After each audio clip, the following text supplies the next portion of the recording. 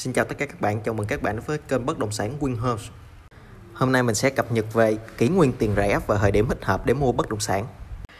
Lãi suất thấp, giá thép tăng phi mã chắc chắn khiến giá nhà trong tương lai tăng lên. Theo các chuyên gia tư vấn thì đây là thời điểm thích hợp để mua nhà và mua các loại hình bất động sản khác. Có nên mua nhà trong năm 2021? Đây là câu hỏi mà các chuyên gia tư vấn quản lý tài sản tại Việt Nam cũng như trên thế giới nhận được nhiều nhất từ năm nay. Theo dự báo, giá nhà sẽ tiếp tục tăng. Kỷ nguyên, tiền rẻ, từ cuối năm ngoái, các nhà đầu tư đều được chứng kiến những cơn sốt nóng rẫy trên thị trường hàng hóa, bất động sản và tài chính. Đi cùng với một thuật ngữ được nhắc đến rất nhiều, kỷ nguyên tiền rẻ, trong bối cảnh các quốc gia duy trì lãi suất thấp để hỗ trợ nền kinh tế xuyên suốt trong quá trình đại dịch Covid-19.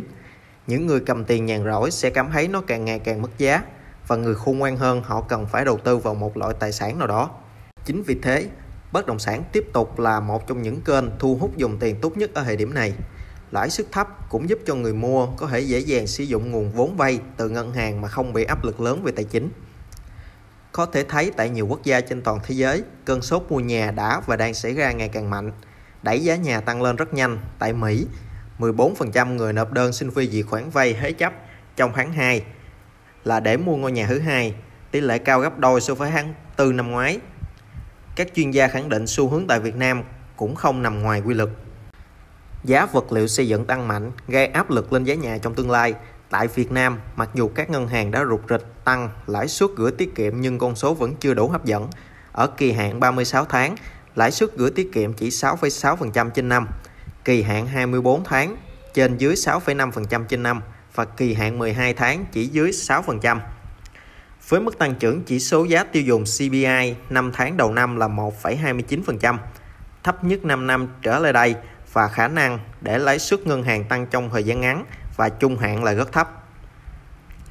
Trong khi đó, tính từ đầu năm đến nay, giá thép xây dựng đã tăng trên dưới 45%. Theo chia sẻ từ các doanh nghiệp xây dựng, chi phí mua thép thường chiếm khoảng 28% chi phí xây dựng căn hộ, chung cư và 35% chi phí xây dựng nhà liền kề. Không chỉ thép, giá nhiều nguyên vật liệu khác như xi măng, gỗ, bao bì cũng chung một đường đi lên.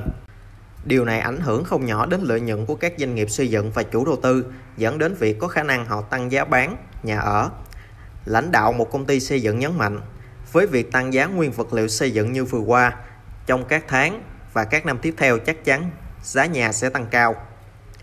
Dòng tiền kiều hối trực chờ Năm 2020, Ngân hàng Thế giới World Bank thống kê lượng kiều hối về Việt Nam lên tới 17,2 tỷ USD. Việt Nam tiếp tục nằm trong 10 quốc gia nhận kiều hối lớn nhất thế giới.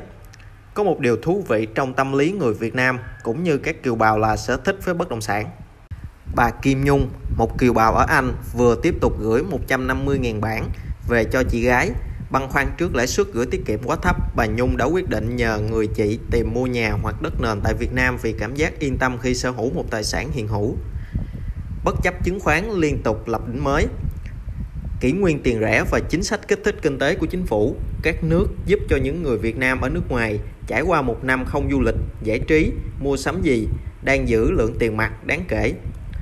Dòng tiền này đã đổ về Việt Nam, trực chờ săn mua bất động sản ngay khi việc đi lại giữa Việt Nam và quốc tế không còn bị cản trở bởi dịch Covid-19.